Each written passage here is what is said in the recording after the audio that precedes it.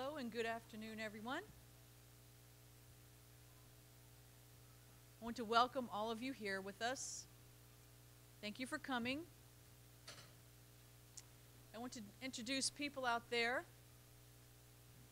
that you may have met over the internet. Oh, welcome people that are joining, joining us over the internet. We're streaming this lecture live across the world. So I'd like to extend a warm welcome to that global audience as well. Our presenter today, I'm thrilled to introduce Dr. David Corina. The two of us have been working together what seems like forever, but with uh, VL2. Way back when, when VL2 first started in 2005, David joined uh, a specific meeting, which was the, the initiation of our center. With the, and has David has been with the VL2 team ever since. You may not know that David is an alumni of Gallaudet University. He got his master's in linguistics here back in the day. I won't say what year that was. He's got his PhD from the University of California, San Diego. And David has done work with Ursula Bellugi and a lot of other people whose names you will recognize in this presentation today. David is a professor at the University of San, uh, University of California, Davis. He does a lot of work on uh, brain imaging and a lot of work with uh, VL2 and uh, a lot of different projects that we are working on. Studies through internet surveys of ASL, behavioral studies of cognitive uh, awareness of language, brain studies of ASL.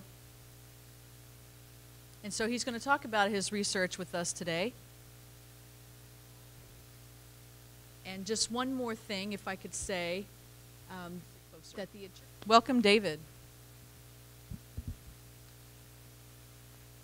Thank you for inviting me here today.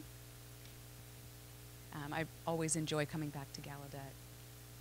It's been a little while.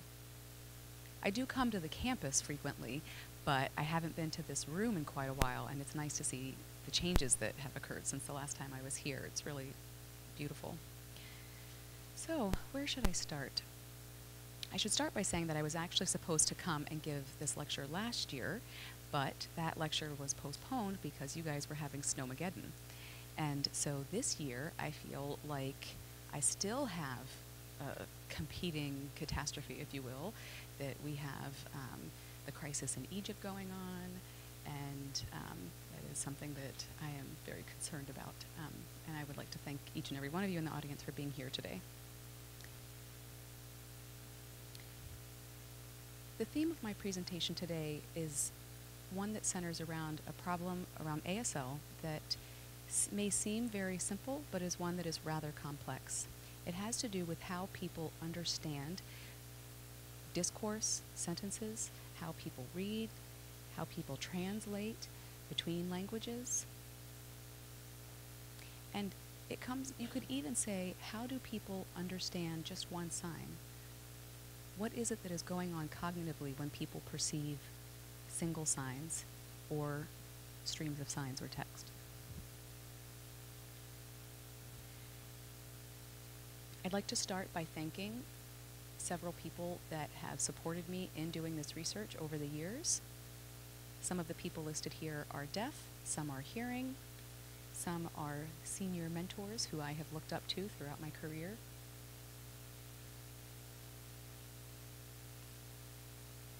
This is a very basic question. How do we map the physical form of a sign onto a person's cognitive representation of that sign's meaning?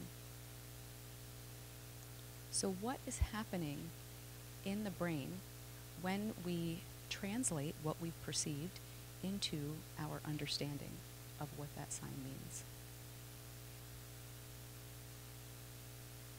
And there are actually two challenges in trying to answer that question. One is whether signs are recognized in a qualitatively different way than the way in which we recognize other forms of human action. And the second challenge is what sorts of mental representations are needed to perform such linguistic mapping?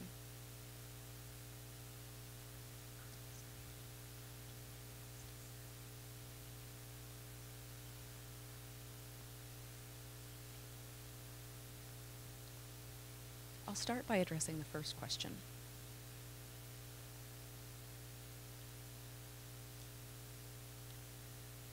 So, are signs recognized in a manner that's different than how we recognize other forms of human action? I'll start with an example by taking a sip of water from this bottle. I just performed a human action. Most of the people in this room can clearly recognize what I clearly recognize what I did. I picked up the bottle, I opened it, took a sip from it, closed it, and put it down. Is how you perceived that action different than how you perceive me signing someone taking a bottle, taking a drink of water from a bottle? So that's the distinction between human action and ASL. We can see that, that it looks different, but what happens in the brain when they perceive those two different things? The literature does have good evidence that the ways in which we process sign language are different than the ways in which we process perception of human action. However, there is some overlap. I'll show a few research studies that have given us this evidence for the fact that signs are recognized differently than how we recognize human action. So we can confidently answer the first question by saying yes, we do have good evidence for saying that signs are recognized differently than human action. The second question, however, is not as clear cut.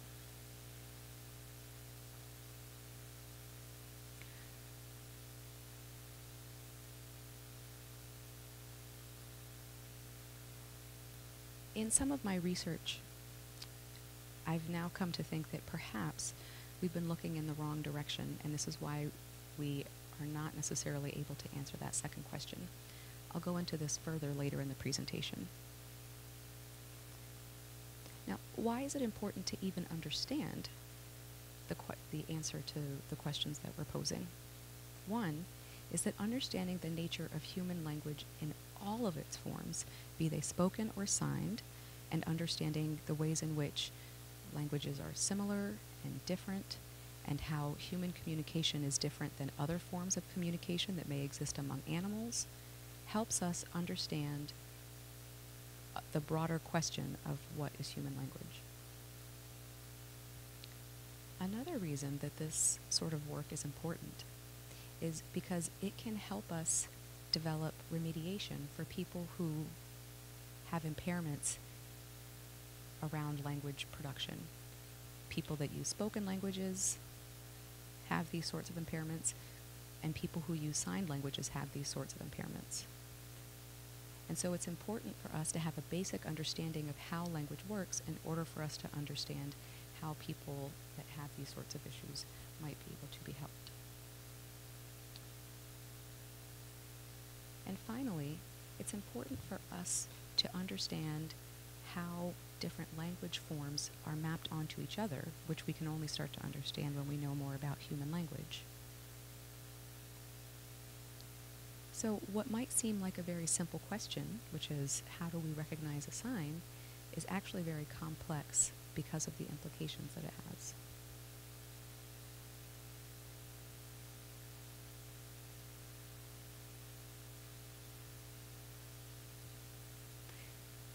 Going back to the two challenges,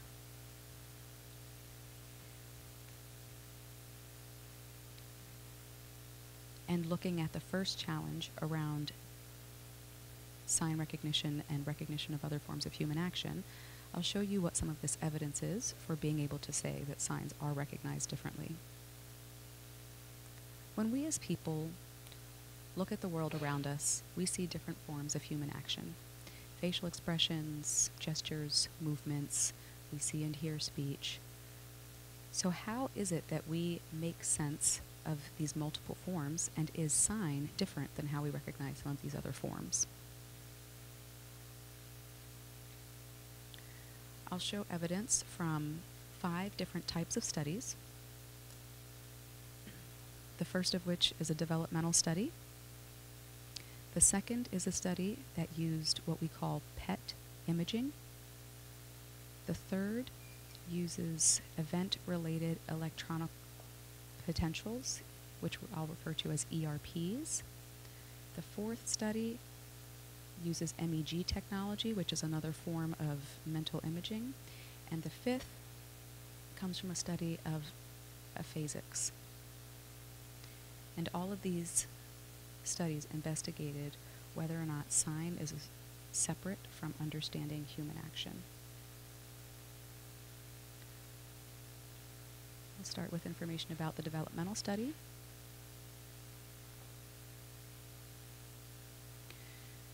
Language researchers have shown that young infants show an inherent interest in speech. And so it seems that from the first moments of life, children are ready to acquire language. And for many years, language researchers have shown at younger and younger ages that children prefer listening to speech than other forms of auditory input, be they sounds made from a computer, music, or what have you. Children seem more interested in language when they're presented with an option of listening to language or some other sound. Many people have interpreted these findings as proof that children have a propensity, propensity for favoring speech.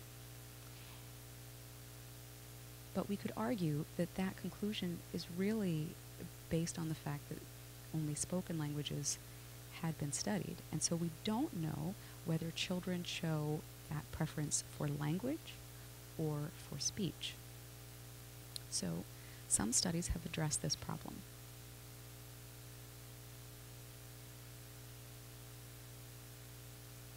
And so again, this study comes from the fact that the literature shows that children have been interested in speech at very young ages, but we cannot parse out whether that interest is in speech itself or in language.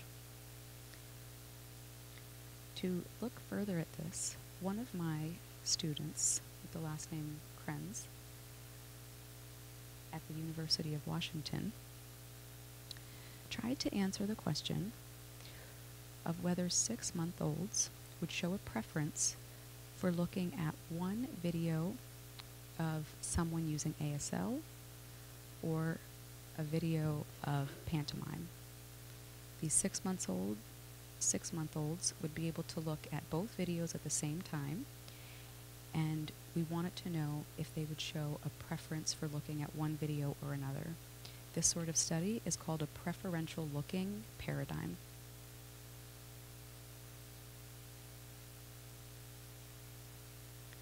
There were two groups of participants, one of which was six month olds and the other was 10 month olds. We chose these ages because of what previous literature has shown. Literature has shown that at the age of six months, infants are still interested in a very wide variety of languages, but by 10 months, children show a preference for their mother tongue or native language.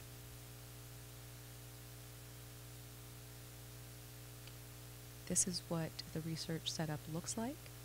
There are two television monitors displaying two different videos, one of which has sign language and the other has gesture.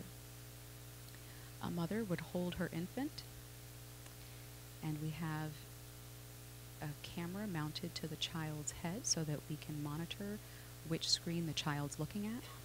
And then we count how often the child looks at each monitor and we look at how long they're looking at each monitor.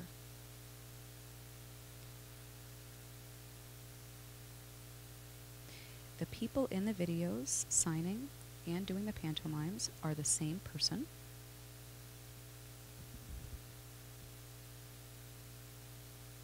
And we see here a very cute baby looking off to her, his or her right, which means that he or she is looking either at the ASL or the pantomime. Here are the results. On the left, you see the times for six month olds, and you see a significant difference in the amount of time that they look at the ASL versus the pantomime.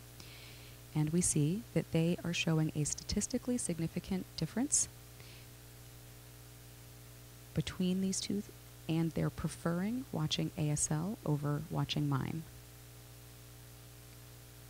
What this tells us then is that children have more of an interest in language.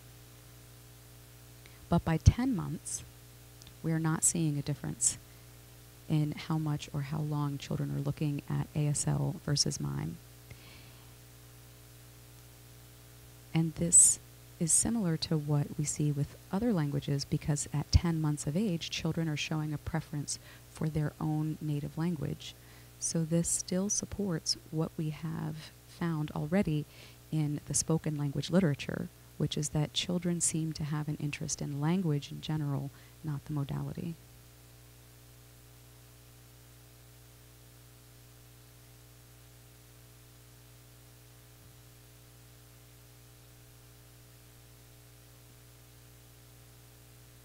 So it seems that from the very beginning, young children have an appreciation of the differences between the differences between a formal language and gesture. So even though children who have not been exposed to sign language are watching sign language and mime, somehow they're sensitive to the difference between ASL and mime because of the linguistic difference. This also tells us that children are likely not focusing on speech, but they're focusing on language in general. Which then does tell us that children are born with the inherent ability and desire to acquire some language, regardless of modality. And at six months, children show that preference. By 10 months, they lose that preference. But again, this is very similar to what we have found with spoken language research. A future question that this could take us to is then how does early language experience change the brain in terms of their preference for language versus non language? And I'll leave that for another researcher to do at some point.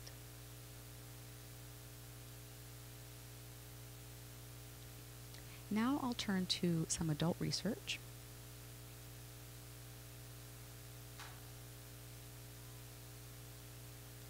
I showed you earlier the difference between this,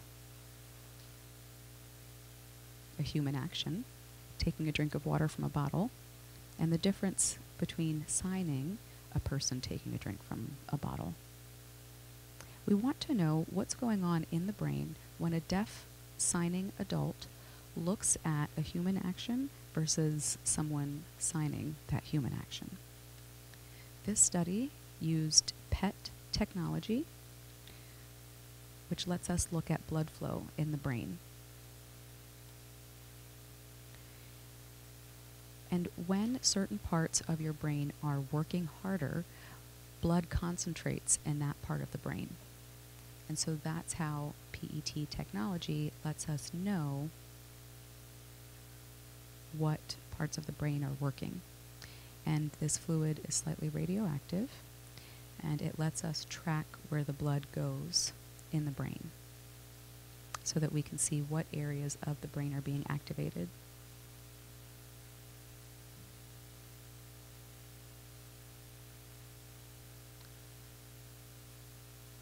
This is a comparative study that looked at 10 native deaf signers and 10 hearing non signers, watching a series of brief hand movements of one form or another. One group of these movements are called self directed actions. And more often than not, these actions were self grooming behaviors. Whether you're tugging at your shirt, scratching your head, these are the sorts of movements that you see on a daily basis, but they don't have much relevance. There's no objects involved. Another category of things that the participants would watch are object directed actions, which, again, daily sorts of actions, but that now involve objects. Third category of things people would look at are ASL signs, and these were single signs, not signs that were a part of sentences. And the fourth thing they would look at is a blurred out video that is considered a baseline, which is a requirement so that we have a baseline for their normal blood flow when they're not looking at anything. What we found is the following.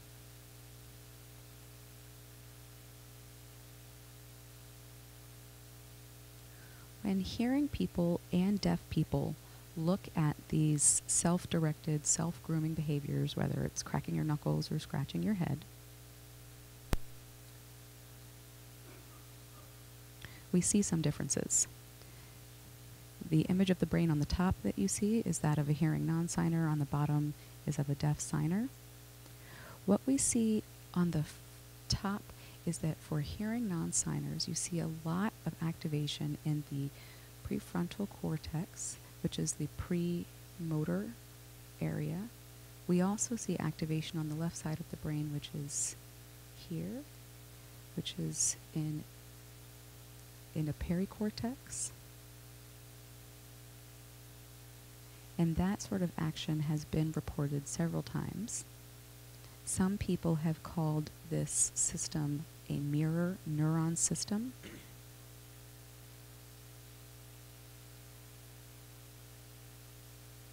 And this is a something that you see when people watch other people doing a simple action or task.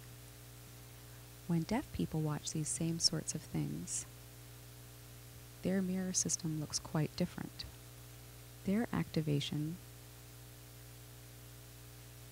they still do have some activation in the parietal cortex, like hearing non signers, but where we see a difference is in this area here.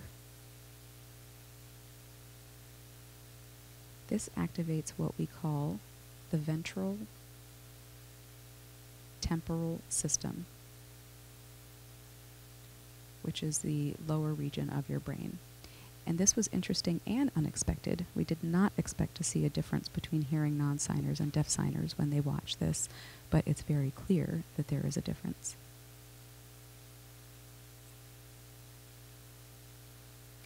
Next, we'll look at results when people were looking at object direction act- directed actions we still see parietal activation in hearing non signers, which is what we would expect based on what we know of that mirror neural system. For deaf signers, we still see activation in the parietal cortex, but again, we're seeing lots of ventral activity or activation. And I'd like we'd like to know more about why this part of the brain is being activated.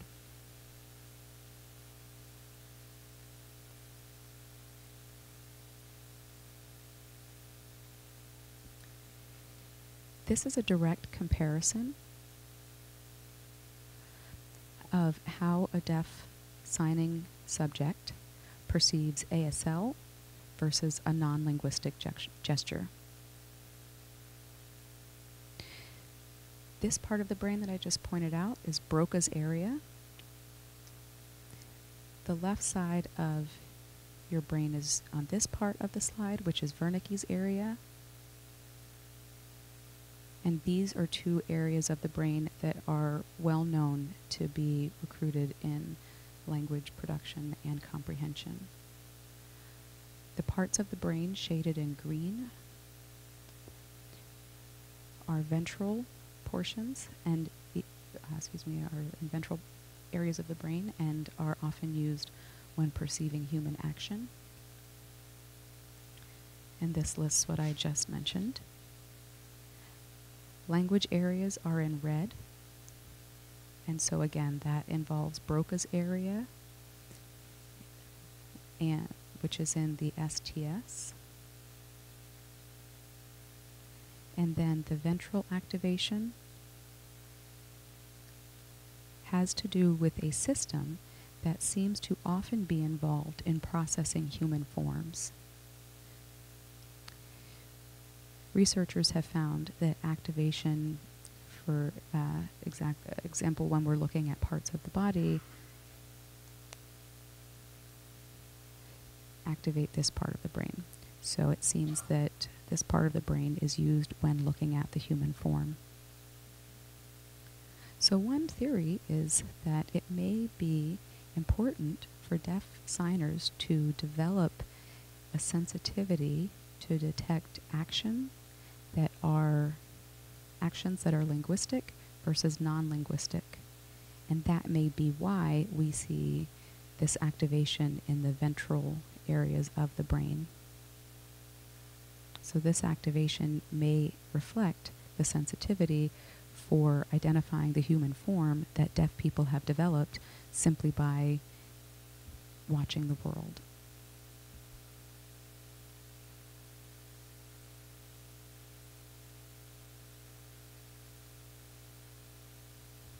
So, again, we see a clear difference in how people process ASL versus how they process human actions.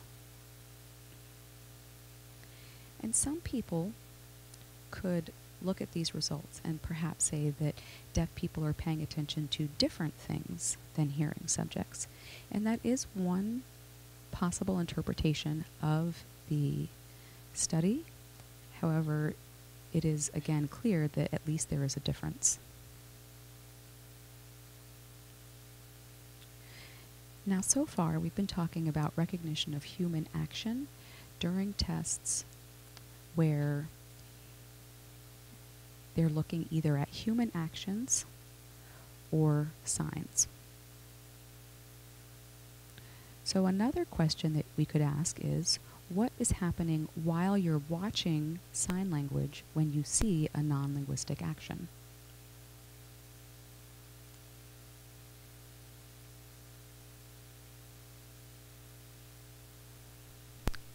Here's an example sentence which I will now sign.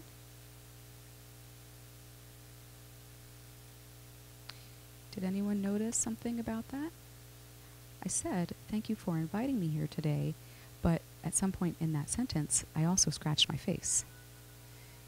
Now, that wasn't linguistic information. Scratching my face wasn't ASL.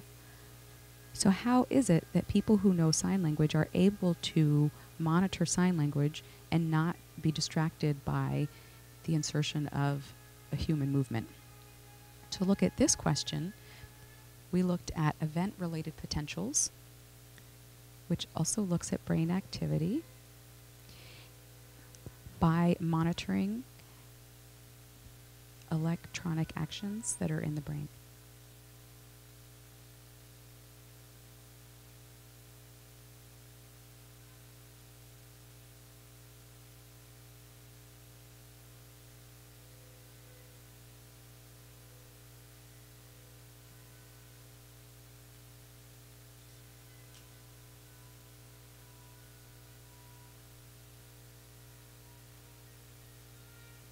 ERP technology is sensitive to measuring electrodes that are on your scalp.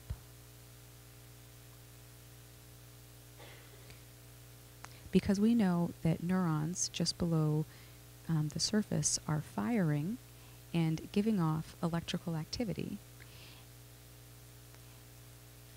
And so, simply by measuring this electrical activity at the surface of the brain, we can get a sense of where neurons are firing in your brain. And so this is ERP technology, and this is most often viewed as a printout of lines on a screen, similar to what you might see um, like with a heart rate monitor.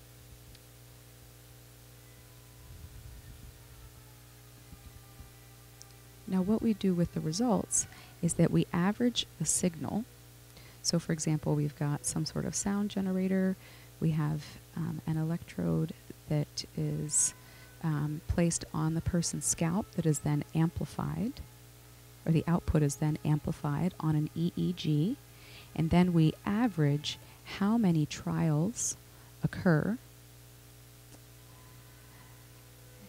in order to find the ERP. Excuse me, the ERP waveform.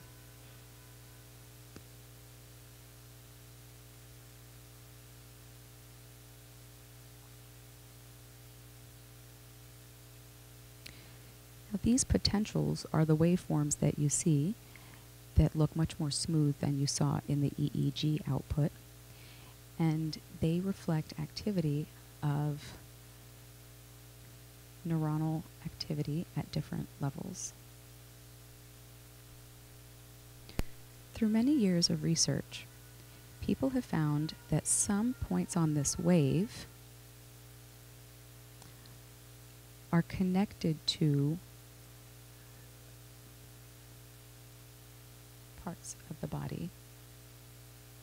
So, for example, the point you see here labeled as N1 often has to do with attention.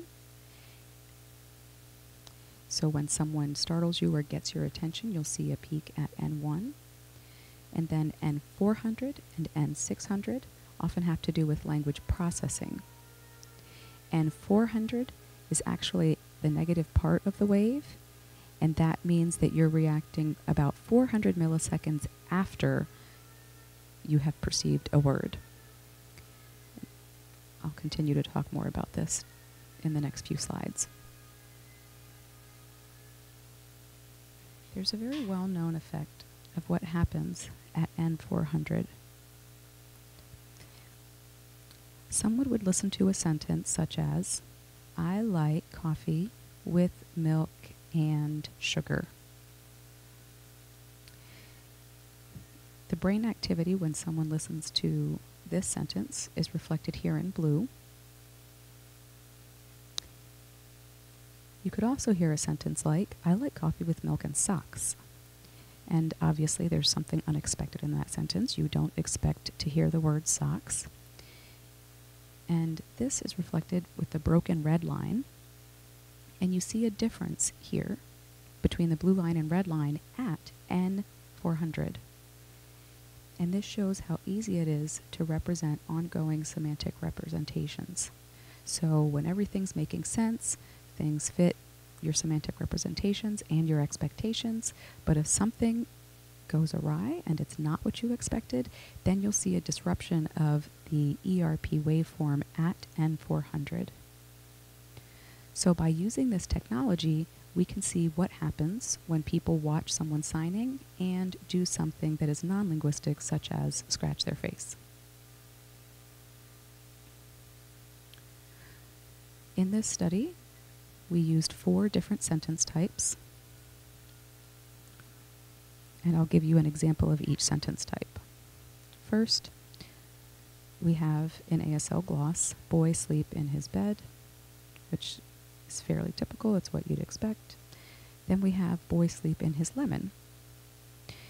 We see that lemon is not semantically what you would expect, and so we should expect to see a difference in the ERP waveform at N400 Another sentence type is boy sleep in his, and then insertion of a non sign.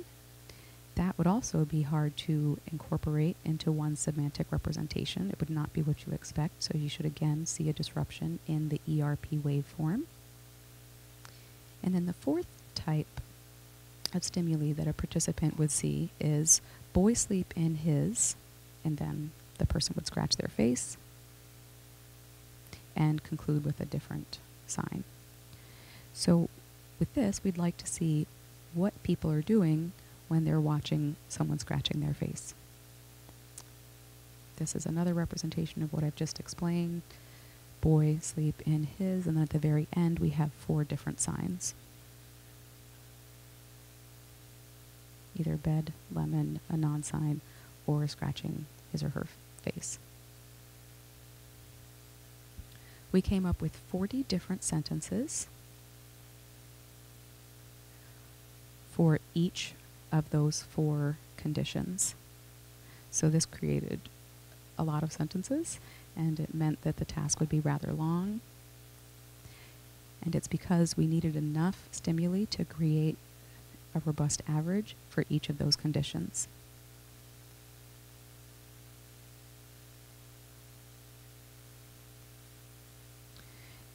Now, I've shown in the data that the negative part of the bar, uh, of the graph, is actually above. Actually, I'm sorry, I should say that in reverse. The top half is positive and the bottom half is negative. So when you're watching a sign and you see something that you expect, that's represented with the blue line. So, for example, the boy sleep in his bed. And then the semantically odd sign. So, for example, boy sleep in his lemon is represented by the red line. And you see um, a drop again at N400. And then for a nonce sign, like boy sleep in his some made up sign, you see um, a further negative movement of that line. But what we see very interestingly is that when that sentence is concluded with something like scratching someone's face, that wave moves in the positive direction. We didn't expect that for that condition. But what this tells us is that the brain very quickly rejects this non linguistic movement of a person scratching their face. And they're doing that, the brain is doing that within 400 milliseconds of seeing that sign. The brain knows right away not to pay attention to that movement because it's not part of a language system. Again, this provides further evidence for showing that how we process sign language and how we process human action cognitively is different. The brain is very sensitive to these two things.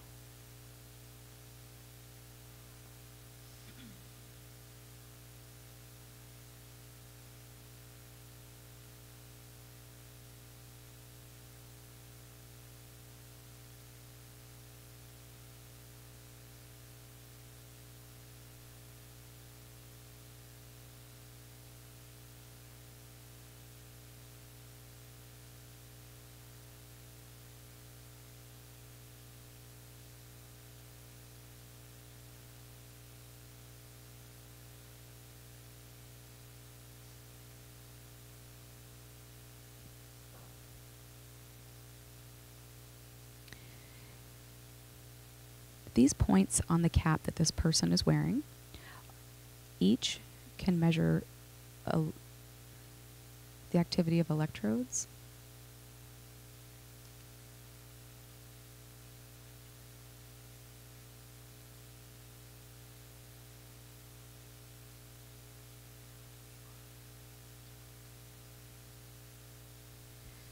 And so one of those electrodes represents, uh, excuse me, measures activity that is represented in these graphs. And so what we see is that there is a very strong pattern of non linguistic movements such as scratching the face, being very quickly rejected by the brain. So the data that we have from ERP studies, again, is that the brain quickly rejects the non linguistic gesture. And this does not provide evidence that there is even an attempt to integrate this non linguistic movement into a linguistic representation, which is further very clear evidence for difference in our systems of when we process language versus when we process human actions.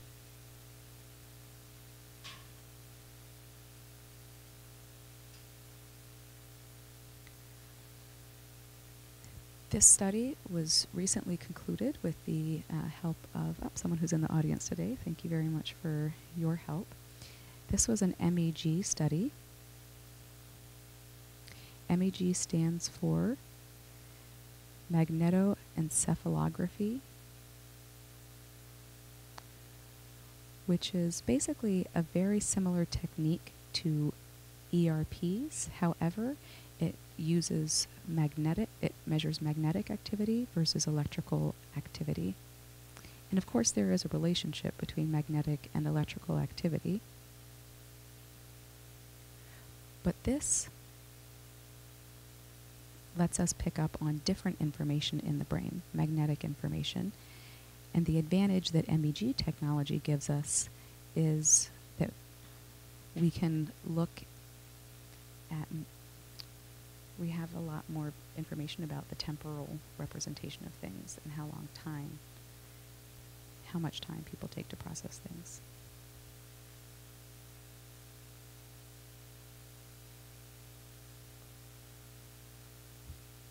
At this point of the wave, this is time zero, time 100 milliseconds, and then time 200 milliseconds.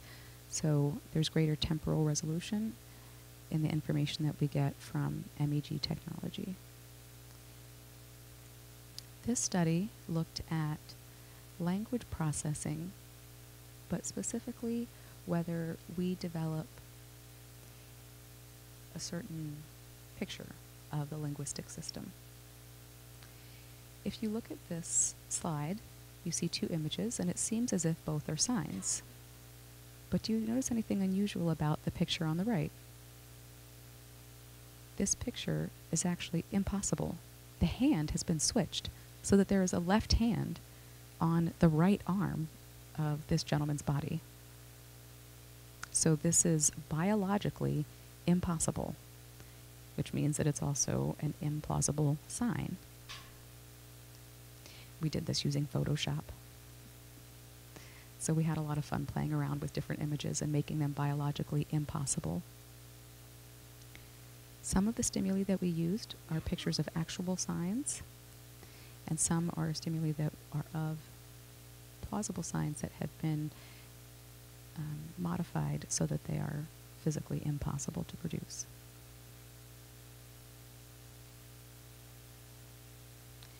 This bar graph shows the reaction time. So basically, how long it takes someone to decide whether the picture that they're seeing is possible or not. And what this tells us is that deaf people have a far faster reaction time than hearing non signers do. And this was not surprising. And we see that deaf people's sensitivity levels are at D prime, which means that deaf people have a greater sensitivity to detect the human form than hearing non signers do. And this may be because deaf people's experience with sign language has enabled them to identify the human form much more rapidly. This is the MEG signal here on the slide. You can see very obvious differences between the results from deaf participants and hearing participants. For the deaf participants, there are two parts that seem statistically different from hearing people. One is the earlier time, which we call M100, and then M130, which is just 30 milliseconds after they've seen the picture. So this is extremely fast. They're recognizing um, these images very quickly. So the brain is noticing that difference. But hearing people are not showing that same sensitivity in the MEG. And this is a fairly complex representation that's intended to show another difference between the performance of deaf individuals and hearing individuals. There is activation at only two areas in the brain that seem to lead people to have this sensitivity. For hearing people, we see an activation in the same area, but much lighter. It's not as strong. The lower part of the of the picture is showing the reaction in a deaf signer's brain at M130, and we're barely seeing that level of activation in hearing non-signers. So, in looking at the data at M100, we are interpreting this as possibly being related to attention, that perhaps deaf people are more able to pay attention to visual information, and that's why they catch it earlier at N100. And so it's interesting to think about what might influence these effects and to see how it might be that your experience with a visual language influences cognitive processing in ways that are different than hearing non-signers. This is a summary slide for the MEG data, which again has told us that deaf subjects are better at discriminating biologically impossible forms. The data also suggests differences in attention and in neural population that support um, these differences or these enhancements. And from this data, we could say that language experience may have contributed to these enhancements in the perception of human forms.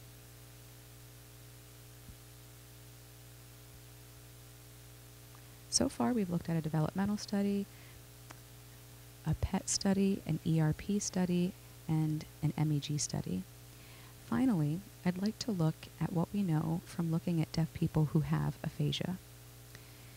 Often after someone has had a stroke, they suffer language impairments.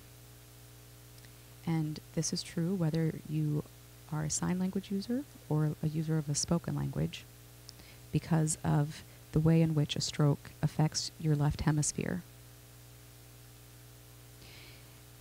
A case study was done that has been referenced and reported many times because of the interesting patterns that have been found with this deaf aphasic.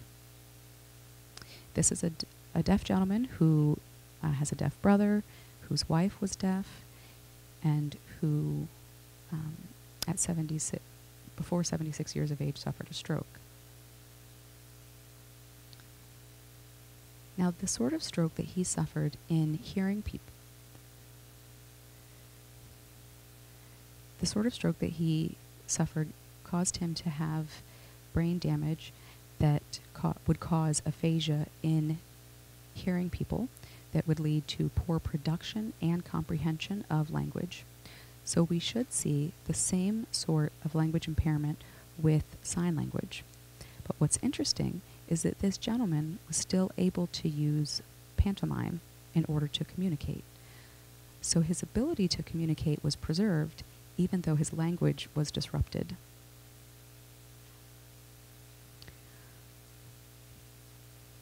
One study that we conducted with this gentleman involved showing him different objects, such as something even as simple as a ball. And when we asked him what it was, he wouldn't sign it in ASL, but instead he would mime what you do with the ball. So he mimed bouncing. When we showed him a picture of an airplane, he wouldn't sign airplane, but he would mime what it means to fly. So again, his signing was impaired, but his ability to communicate in gesture was not. Now, despite the fact that his language was impaired, there are certain aspects of ASL that were preserved in his language. He did not perform well on ASL comprehension either.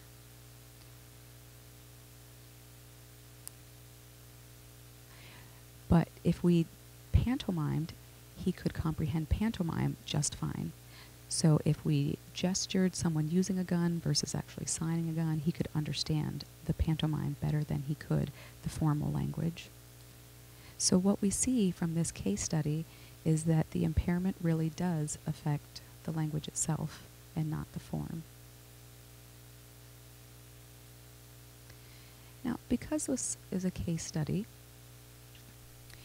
some people might say that it's not sufficient evidence. But this study was replicated with other signed languages, French Sign Language and British Sign Language, and the data from these studies have also shown that the aphasics that they studied preserved the ability to mime, their language was disturbed.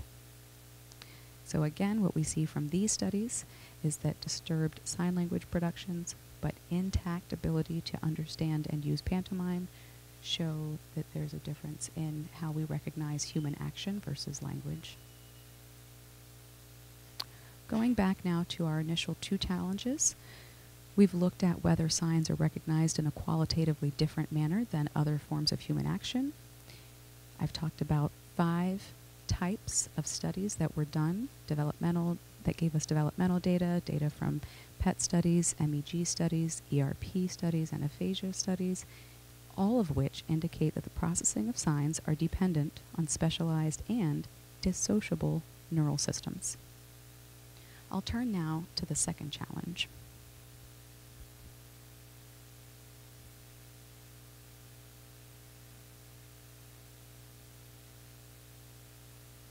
What are the thought representations that you need to understand a sign versus a human action? What mind representations are needed to perform this linguistic mapping? This has been a much harder question to answer. Over the last many years, we have been guided by a specific theory that was based in spoken language research. And we're trying to do comparative studies with spoken language and sign language. Spoken language would suggest that perhaps we are not using a correct approach when we use those paradigms. Backing up just a bit, looking at the traditional view. Of spoken language processing, what it is that the mind is representing. What we talk about acoustic forms and analyzing that for their features. Most often, we look at phonemes. And speech is then decomposed, and we look at how the mind uh, can map these mental representations. For years, many people have felt the same about signs. So this is just representing what I've just said. Person speaks. There is an acoustic waveform.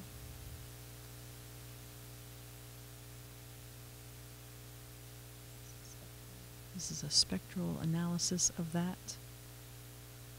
Then it's broken down into features and phonemes, which then are uh, reconstructed to perform uh, to make words and then leads to that understanding. This is a very characteristic view of spoken language. Most uh, sign language psycholinguists, psycholinguists have a different view, which I will show you now. The belief has been the same that we take an image and decompose it. So if we take a sign, there's a special relationship here as the signer's body as opposed to the arm that's reaching out and the movement are aspects that we have been looking at.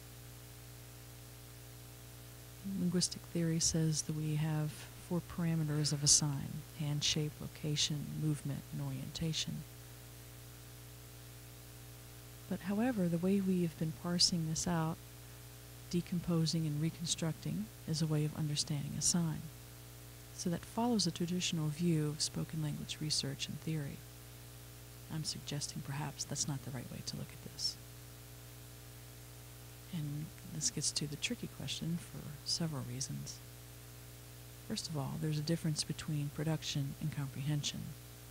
For production reasons, I would say yes, there's good evidence for breaking down the signs the way we have traditionally.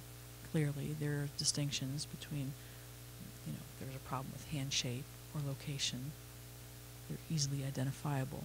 But comprehension, how we parse that out, perhaps we should look at it differently.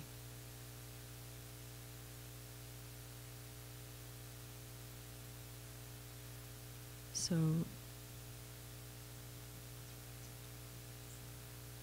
This is a representation of this of the sign for idea. So there's location, movement, and location. HC is the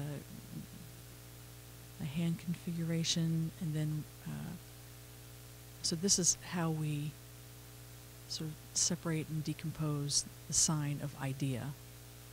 This has been the belief that this is actually what is represented in your mind, what your mind represents is looking at these different elements of how you break down a sign. I'm not convinced that this is what your brain is doing when you're comprehending a sign. There's a difference between production and comprehension, again, as I've said. It's not clear to me that trying to comprehend a sign is broken down uh, in parts the same way it is when we are producing. We have clear evidence for producing a sign and how that is looked at. Like, for example, with aphasias or aphasic patients, you see the differences um, with errors with hand shape and location. However, uh, there are not there's not so much data from comprehension studies. The data is not as convincing. This is from the same study of this gentleman, W.L. And let me give you an example of something that he signs. So the hand shape tends to be um, distorted. So, for example, like the sign for sister, he signs it with an F hand shape. It's not a sign, it's clearly a mistake. What happened to WL was maybe six months before the stroke, the National, National Association of the Deaf went and interviewed him for uh, lifetime achievement for the Living History Project. That was six months before the stroke. And you could see clearly that he signed sister. He would never sign sister with F handshapes. But after, there were mistakes with handshapes.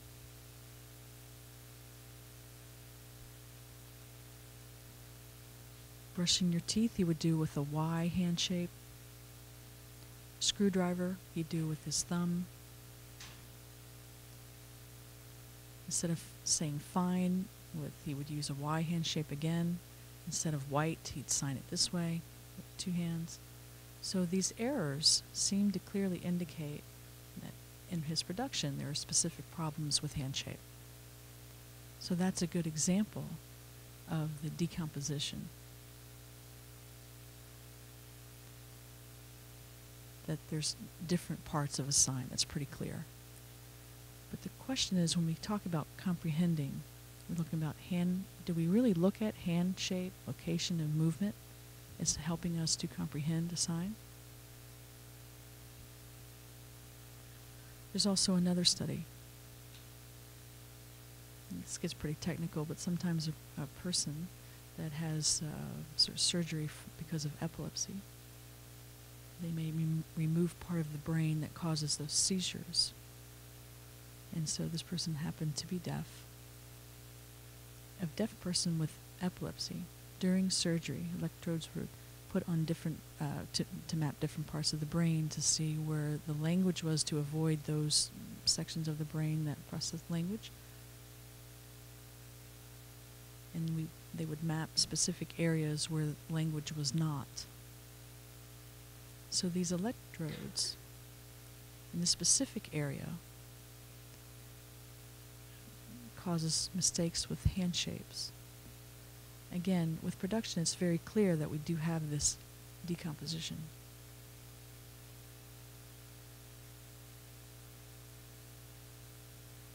As well as we've also uh, heard, you know, the tip of the finger, as we call it.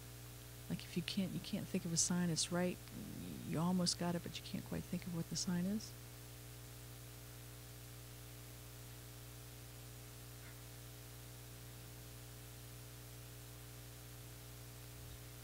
So people don't think of hand shape right away. It's um, what we see is um, parsings uh, of the sign. But but my point is to clearly understand the uh, to to comprehend a sign. Do we really look at the handshapes the way that we have traditionally looked at them,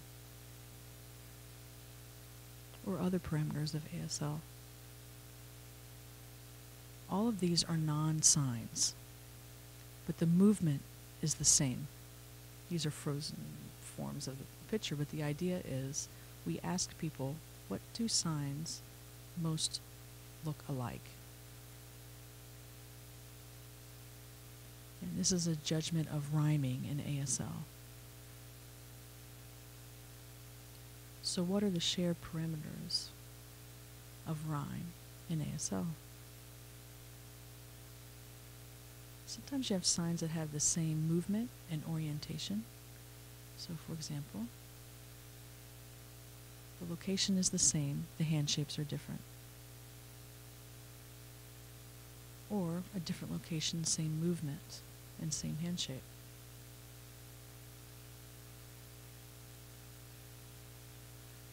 A third example, I'm trying to remember. Um, so, same hand shape, same location, different movement. So these are three different possibilities, and we ask um, people to identify which is most alike. Native signers, uh, here it shows that they have the same location and movement, that that's the most similar as it has been identified. The other options are um, a little bit less here, but the native signers also, or, or the non native signers, also identify these similarities the same as native signers. Location and movement seem to be the most important, and that is indication of rhyme in ASL. But is that a linguistic effect, or is that, or is that a visual effect, and how do you test for that? So with hearing non-signers, we would pick two signs that they would still select the two signs that look most similar using the same parameters. Location and movement. That, that's, that, those two parameters were used most often to identify similar signs.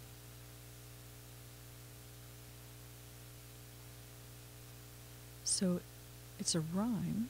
It may not be linguistic as much as it has a visual effect that's being identified.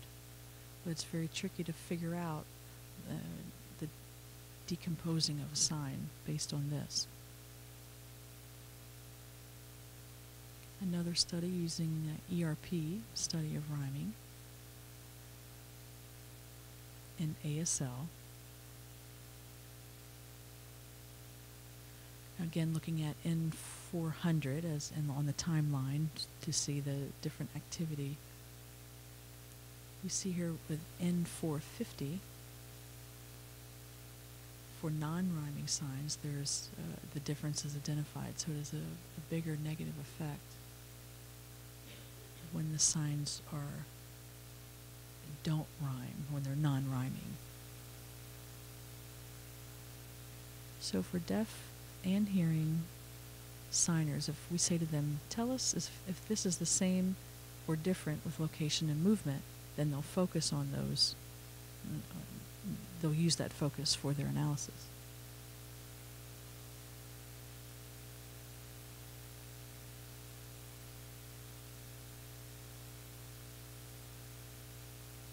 When the two signs were different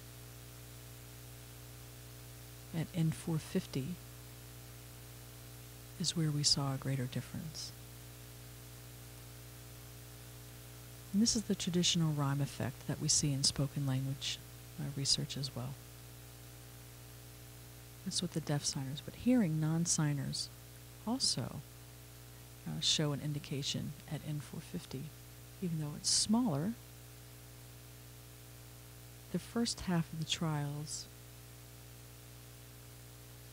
there wasn't much up until point 80, but we did see uh, where it shows up at N450 for hearing non-signers in the trial. So location and movement do have a strong visual effect. So perhaps it's not linguistic in and of itself. So we have to do some more testing to check to see if it's actually a linguistic property or is it just a perceptual property.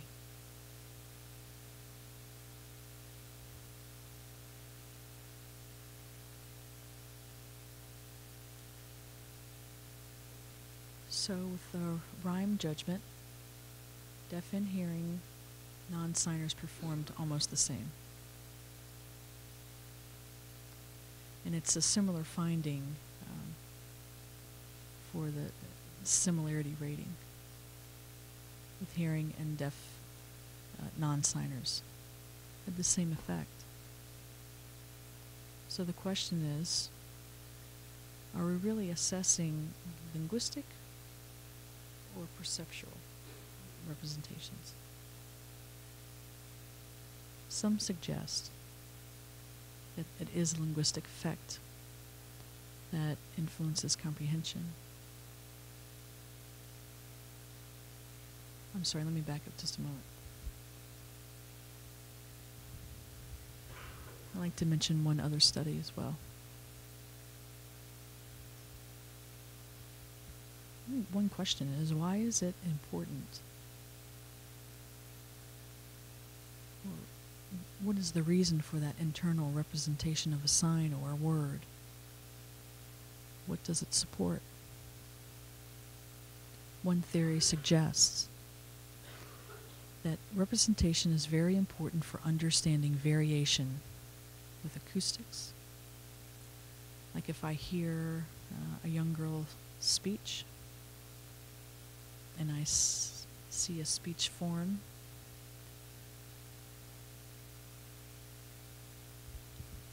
So, for example, a young child could say something and an adult could say something.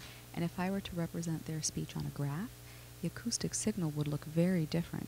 But as a listener, you're still able to know when this young person and this old person are saying the same word. So, even though there's a great deal of variety in speech production of what you might hear, what we do is end up mapping it to our lexicon. So this is how we deal with the invariance problem in language. What we'd like to look at is whether or not this happens for ASL, and if people can still understand the two different forms of a sign that might be produced by um, different people or might be produced in different ways or at different angles. So what we did was manipulate the angle at which you're watching a person producing the same sign. So you see a sign, that's the prime. And you either answer, yes, it's a sign, or no, it is not a sign. This sign here. And you hit yes. And then the next prime comes up again with the same sign at a different angle. Or at the same angle. And so the second time you have a faster response because you've just previously seen the prime. So if I do this, you're watching this, and then I turn and I do this. Is that the same as doing this? And then the same sign again? Some will argue that our ability to be sensitive to that rotation is further evidence for an internal representation of the sign. So the question is, do we have this representation or not? Again, with the effects of rotation, testing hearing, deaf and hearing non-signers, deaf people are much faster than hearing people, clearly faster. But what we do see here is very similar pattern. What I had expected was if deaf person see, saw this or this, they would have the same reaction time, as opposed to having it uh, not rotated. So it surprised me to have these findings. Again, I don't have an answer. But this kind of research suggests to me that perhaps there's an internal representation of the sign that's different from spoken language representations.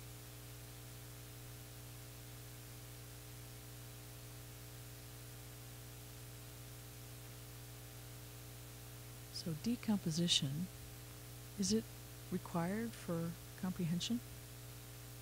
Similarity judgments from those trials, what we see is that it could be influenced by either language or the visual nature or the rhyming tasks. Um, we see the same thing with the perceptual variance study. Again, does it get to the non-linguistic versus linguistic aspects of this? And don't get me wrong, I mean, part of it, you can show cases where the linguistic knowledge is important. I'm just going to talk about this a little bit more and then we'll wrap it up. So another test we used was um, recognizing hand shape, watching people sign and non-signs, and anytime you would see um, a marked hand shape, you need to respond in a specific way. Again, this is used in spoken languages as well, uh, with marked and unmarked. Through just monitoring if they see a hand shape. So if we take the sign for father and another two-handed sign like this for deer, it's the same hand shape, location, and movement. And then the third one would be something different, like fail or one week. The non-dominant hand shape is the hand shape they're supposed to be looking for, but they don't notice it because they're watching the dominant hand. These are one-handed signs, two-handed signs with the same hand shape. And we do see a parallel with hearing and non-hearing signers, or non or hearing non-signers.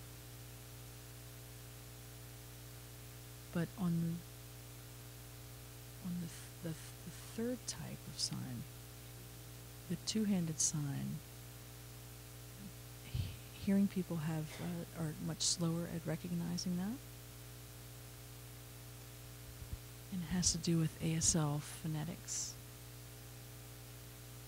That there's a if you have specific knowledge of that sign language, you can then recognize the hand shapes represented in a different way. So the form of res- representation doesn't necessarily parse the signs in the same way that we had thought. And this is evidence for whole sign representations.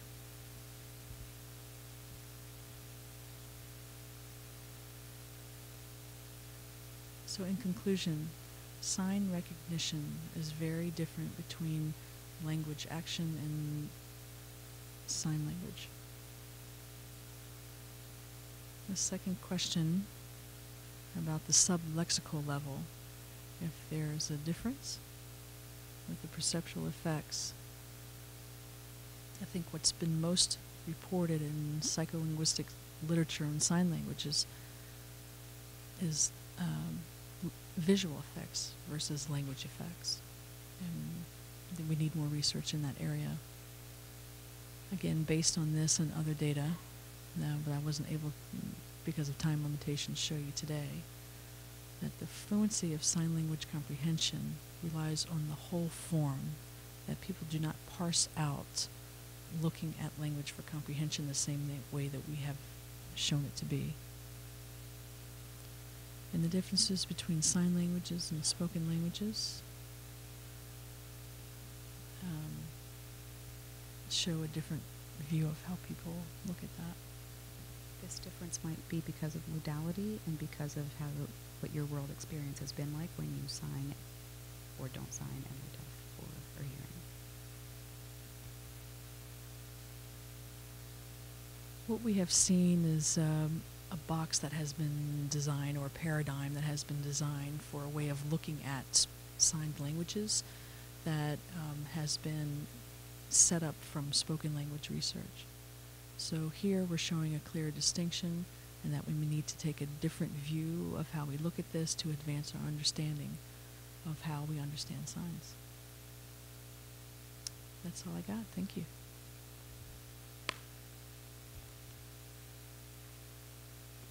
I'm happy to answer any questions.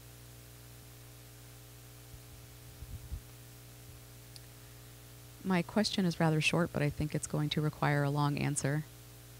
It seems you're suggesting that what we use for our perceptual and productive systems are different. But um, you drew on tip of the finger data as well as other data for production issues. But so you're saying that when I produce a sign, that I am actively picking different parameters in order to produce that sign. But then when I'm understanding, when I'm perceiving, I'm just drawing, tapping straight into the lexicon. I'm just sort of wondering. I mean, I understand that the perceptual system and production system are different, but are they that different that you could say that they rely on two completely different systems and processes? It's a very good question, and it's not an easy question. In research, we have seen that there are lexicons. Uh, there's not a separate one for under for comprehension and production. And from aphasic uh, patients, we see that their comprehension is preserved, even though they can't produce um, a sign the same way. So there must be a division. It may be different depending on the language, um, how much the language is overlapped or how much it is separate. I can't say at this point yes or no, but research can help us further figure out you know, these two different lexicons, one for comprehending and one for production. I've always felt that we've kind of uh, comprehension is going working backwards to production. Sort uh, or it's sort of a, reverse process. So this the same process going in reverse. That's been the belief, and I'm not convinced that's uh, that's the right way to go. It's interesting, but uh, the focus on sign language perhaps can give us an understanding of different findings, which will then lead to um, new findings in spoken language research as well. Another example. Uh, people at the Haskins Lab, their view of speech is that they said it's based on specific parts and that there's gestural forms that perhaps are perceived as a whole, but you don't look, you don't perceive it, the individual parts. So the same thing may be happening in ASL as well. Thank you for the question. Hi, my name is Gabriel. And I'm, I'd like to go back to the slide where you mentioned um, studies that were done in ASL, French Sign Language, and British Sign Language. Were you involved in the work on FSL and BSL? No, I wasn't. I just was citing them. Okay. I ask because um, of just the population of sign language users that we have of ASL can be quite a bit varied versus um, that what we'll see from French Sign Language and British Sign Language users because of the size of the U.S. And I imagine people on different coasts could end up sort of thinking in different ways. And so I wonder if um, the people who participated in your study were from a particular region of the U.S. Study of, um, phasics uh, were from different areas in the United States. Like wherever we could find a person to test, we would go and test them wherever they were in the United States. Interesting. Yes. So we do recognize regional variation. So that's we're trying to be, you know, very clear and very conscious about uh, distinguishing that sensitive issue with regional variation. But in terms of how we measure that, that variation, We could use ERP brainwaves to see how people recognize that variation with spoken or signed languages. That's possible. Right. I think that goes back to what you were saying about not being confined to that spoken language box. I mean, we could even do something different, not just looking at aphasics, but looking at people who have unimpaired signing and are users of ASL on a daily basis. Right. Mm, In our lab, we have students that have uh, different come from different backgrounds, and in ERP studies, we look at sensitivity to accents and dialects, and there is a difference in the ERP. So it's a it's a very interesting possibility, but we're trying to um, do enough research so that we can make a generalized statement.